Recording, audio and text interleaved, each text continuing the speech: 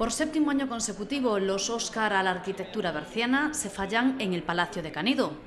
Este proyecto de la Fundación Prada Tope pretende reivindicar y proteger la arquitectura tradicional de nuestra comarca. Estamos muy contentos de, ser el séptimo año y ver la participación de la gente y ver cómo responde eh, a nuestra llamada eh, la gente en general y los pueblos en general de todo el Bierzo. Para nosotros eso es muy bonito, pero bueno, es bueno para nosotros y bueno para todos en, en el Bierzo, por supuesto. Se convocan dos categorías, una para obras realizadas por particulares y otra para proyectos de ayuntamientos, juntas vecinales o asociaciones de vecinos.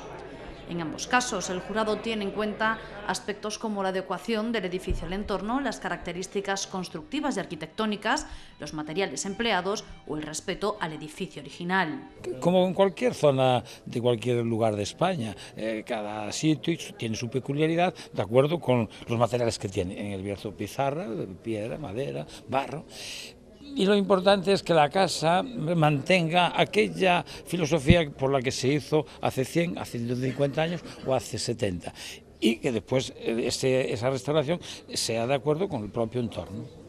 Si todos nosotros estábamos ya hace tiempo concienciados y sensibilizados con la protección de la arquitectura tradicional y vernácula que tanto nos caracteriza y singulariza, y también cansados del feísmo que tanto daño ha hecho en la arquitectura rural, el proyecto, comandado por Prada y por su fundación, ha contribuido a que nos hayamos concienciado, aún más de la importancia de la puesta en marcha de proyectos de este tipo, de que las lamentaciones, que siempre llegan tarde y no sirven para nada, y de que el movimiento, como siempre, se demuestra andando, o sea, con actuaciones como la que hoy precisamente nos reúne aquí, y de que el pequeño grano que se sembró ya hace siete años empieza a dar su fruto, ya que en estos últimos hemos visto cómo cada vez son más los vecinos que no se resignan a la pérdida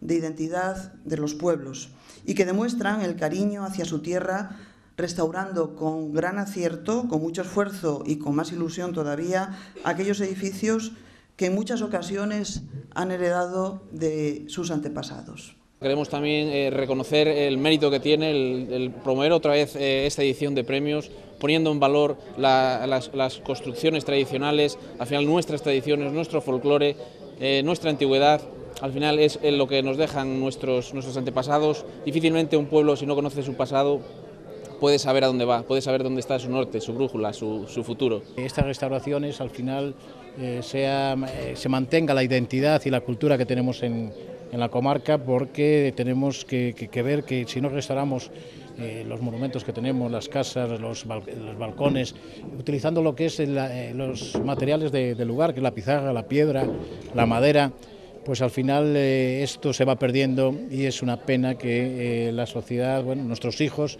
no puedan pues eh, tener acceso a eso que tenemos, que tenemos nosotros ahora.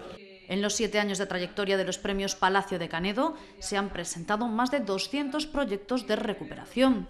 En esta edición fueron en torno a una treintena, de la que 16 se proclamaron finalistas. Los que hoy han sido designados finalistas de estos premios y que apuestan por sus pueblos, creen en ellos, invierten su dinero ¿eh?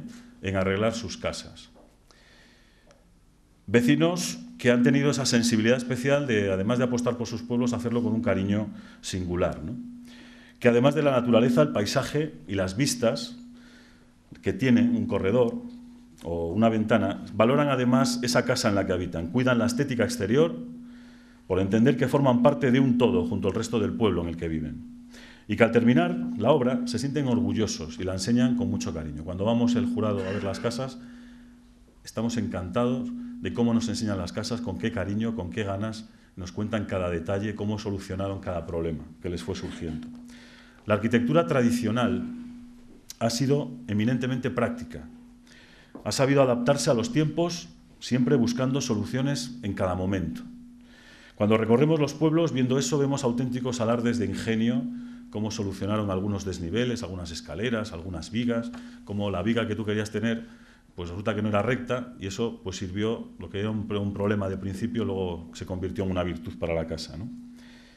Por eso, toda la gente que está aquí, esos 16 finalistas que habéis llegado aquí, que hemos seleccionado, de la casi treintena que, que participaban, os damos las gracias y un aplauso antes de que empiece la propia entrega de premios.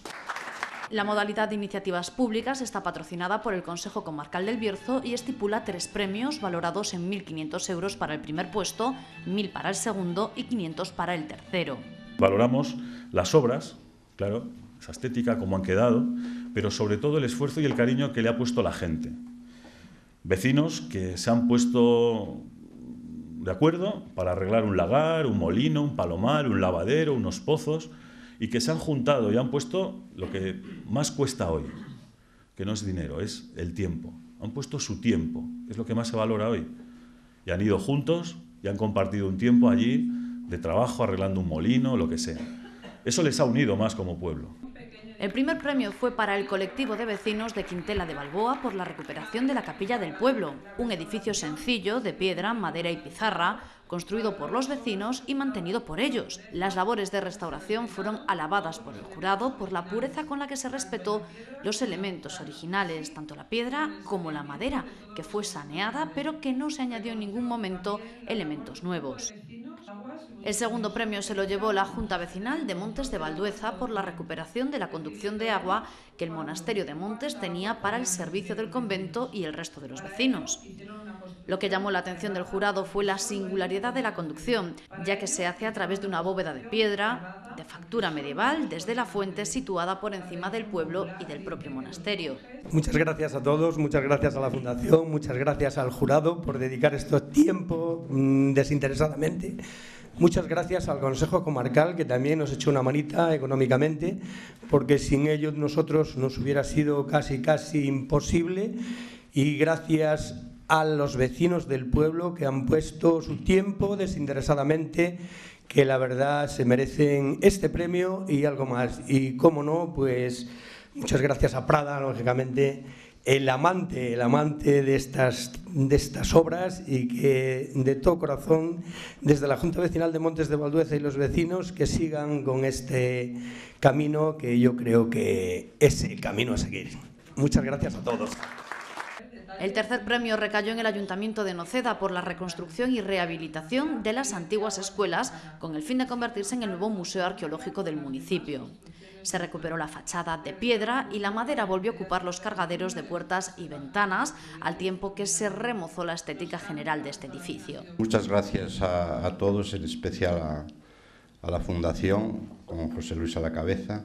Gracias al Consejo Comarcal por eh, patrocinar estos premios y esperemos que, como ahora hay un, punto y aparte en las elecciones, esperemos que los que vengan detrás o los que estén, o los que estemos, que siga patrocinando estos premios que creo que son interesantísimos y muy importantes.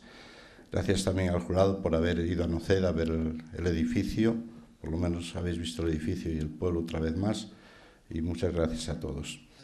Además, el jurado decidió otorgar un accesit a la Junta Vecinal de Lomba de Cabrera por la recuperación de la ermita de Santa Elena, que en 2013 fue pasto de las llamas un incendio que se originó en el interior de la ermita por culpa de las velas. Darle las más expresivas gracias a la Fundación, a todos los que participaron en esta ayuda y sobre todo a la presidenta de la Junta Vecinal que está por ahí, que me gustaría que estuviera aquí al estrado, que fue la ayuda más, más valiosa que he tenido yo allí en, en el pueblo ese, que han salido ella y su marido por los pueblos a pedir, como se suele decir, y fue un gran éxito lo que han conseguido, aunque no fuera toda la cantidad que necesitábamos, pero sacaron un buen pellizco.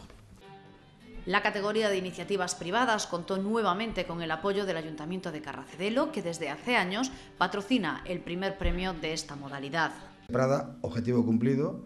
Hemos devuelto los premios que como Ayuntamiento recibimos en ediciones pasadas y desde luego yo quiero decir una cosa muy clara, es decir, nos sentimos muy orgullosos de la labor realizada por la Fundación Prada Tope. Como tiene que comprender, hay unas elecciones de por medio.